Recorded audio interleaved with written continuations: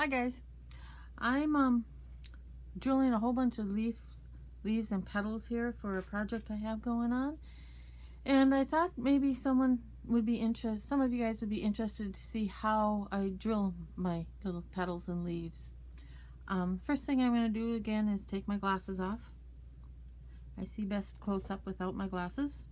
And then I'm going to tip this down so you can see my work table.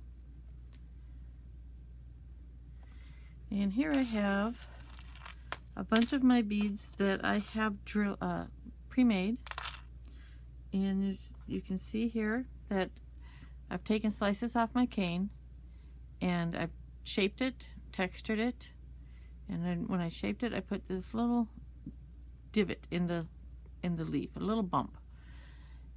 And what I'm going to do now is I'm going to drill a hole diagonally across there. Um, I've got my battery powered Dremel with my drill bit in it. I like to use the battery operated one because it doesn't doesn't uh, turn as fast as my little electric one and it's easier to hold. So I'm going to take my drill, turn it on, get my leaf here, and what I'm going to do, let's see if I can get that, get you guys a good view here, is I'm going to lay my drill a little behind that bump and just go straight across and kind of ream it out a little bit. And there you can see I have my holes drilled across my bead.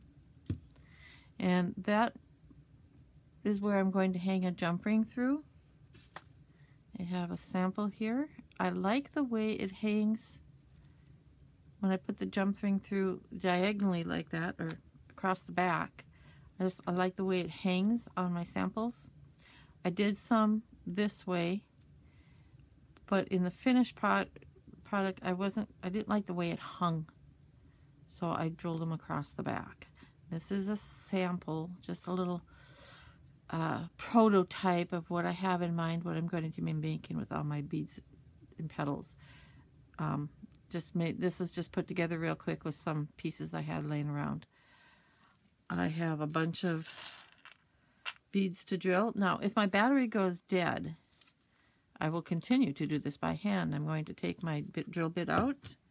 I have a little hand drill. Put my drill bit in there. And then my hand, I'm going to drill that. Now this is the, doing it this way can get hard on the fingers. Takes a little more effort. But if my battery is dead and I want to keep working, I'll do it this way. Just go straight across. And with the with the hand drill, I gotta kind of ream that out a little bit. Get all the sawdust off. Or clay dust if you want to call it that. Clean that up. And there we go. So here's my pile of leaves that are done. Here's my pile of leaves yet to do. Once I get that done, we'll see what happens next. Thanks for watching.